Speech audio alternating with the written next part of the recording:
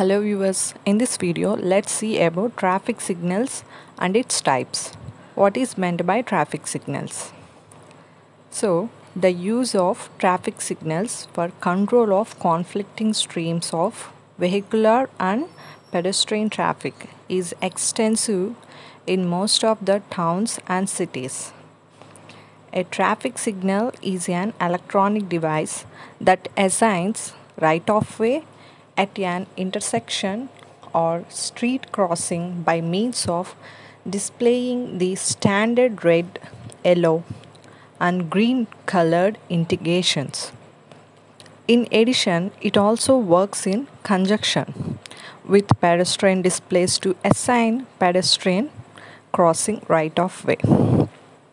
Traffic signals are the control devices which alternatively direct the traffic to stop and proceed at intersections using red and green traffic light signal automatically.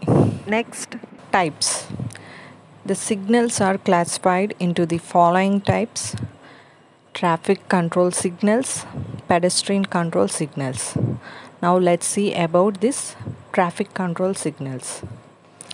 These are provided with three colored light glows facing each direction of traffic flow.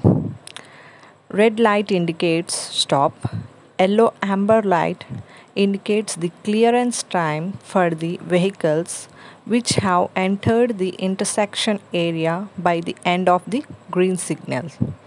Green light indicates go. The typical traffic signal showing the arrangement of three light glows. Traffic control signals are further classified into three types. Fixed time signals, traffic activated signals, manually operated signals. Let's see about fixed time signals. These signals are set to repeat regularly a cycle of red, amber, yellow amber yellow we can call that and green lights. Depending upon the traffic incentives the timings of each phase of the cycle is predetermined. Fixed time signals are the simplest type of automatic traffic signals which are electrically operated.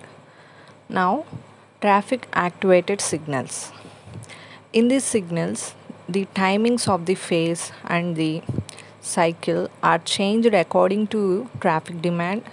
In semi activated signals, the normal green phase of a traffic stream may be extended up to a certain period of time for allowing the vehicles to clear off the intersection.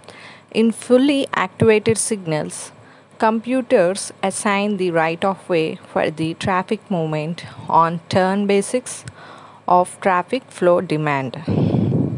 Next, manually operated signals.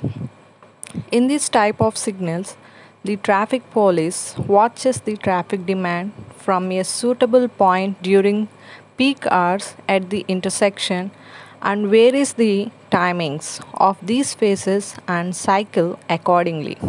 Next, pedestrian signals. When the vehicular traffic remains stopped by the red or stop signal on the traffic signals to the road intersection, these signals give the right of way of pedestrians to cross a road during the walk period. Now, special signals. These signals are used to warn the traffic. When there is a red flashing signal, the drivers of vehicles must stop before entering the nearest crosswalk at the intersection or at the stop line where marked. Flashing of yellow signals are used to direct the drivers of the vehicular traffic to proceed with a caution. In the next video, we will see about more information on civil engineering. Thank you for watching this video.